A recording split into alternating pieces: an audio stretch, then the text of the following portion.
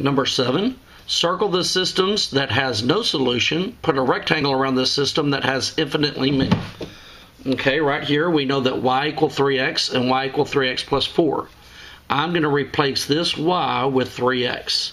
So I know that 3x equals 3x plus 4, don't I? I'm going to take this 3x and move it across. I'll get 0 equal 4, won't I? That's false, so it has no solution. Can also look, the growing numbers are the same, but the starting numbers not, or the slopes are the same, right? If the slopes are the same and the starting numbers aren't, the lines are parallel, aren't they? So it has no solution. If it has no solution, we're going to circle it. So we'll circle this system. Okay, on this one right here, 2x plus 3y equal 8. 3y equal negative 2x plus 8. Let's put this, this is in standard, let's put this one in standard. If we move the x across, we'll get 2x plus 3y equals 8. This one's 2x plus 3y equal 8, isn't it? Notice they're the same equations, aren't they? If the equations are the same, it has infinitely many solutions. And I'm going to abbreviate infinitely many. Okay, if it has infinitely many, we'll put a rectangle around it.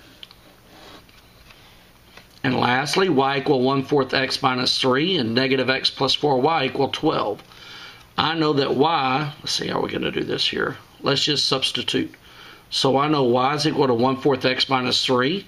I'm going to replace that y with 1 fourth x minus 3. So I'm going to have negative x plus 4 parentheses 1 fourth x minus 3 equals 12. Distribute the 4 Okay, so I'm going to drop the negative x plus 4 times a fourth is just 1x. 4 times negative 3 is negative 12 equals 12. x plus negative x plus 1x is 0 in it. So I'm going to end up with negative 12 equals 12. Is negative 12 equal 12? No. So there is no solution. So if there's no solution, these lines would actually end up being parallel which would be circling it because they have no solution. So when you solve it, if they're not equal, it's no solution.